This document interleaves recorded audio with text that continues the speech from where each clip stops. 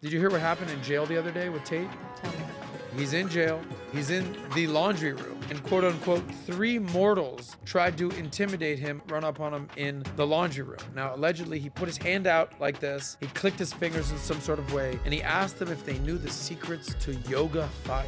Okay? Now, if Andrew Tate in jail does some sort of hand movement, former kickbox champion, badass dude, says, Do you know the secrets to yoga fire? Maybe those guys said, You know what? I don't want to learn these secrets. I don't want to know what this is. If you're some random dude on the street and you say, I know about yoga fire, ain't nobody gonna be intimidated by your yoga moves, buddy. Yeah. Only Andrew Tate's can intimidate people with yoga.